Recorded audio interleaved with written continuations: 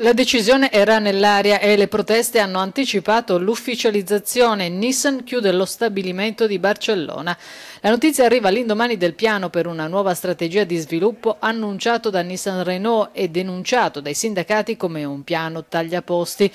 Una decisione sofferta, ha commentato il presidente Macato Ucida e giustificata dal bilancio in rosso alla chiusura dell'anno fiscale. La prima volta, ha commentato, negli 11 anni della sua presidenza. Il costruttore giapponese ha sottolineato una perdita netta al 31 marzo di 671 miliardi di yen nell'esercizio 2019-2020 contro i 319 miliardi di utile nell'esercizio precedente.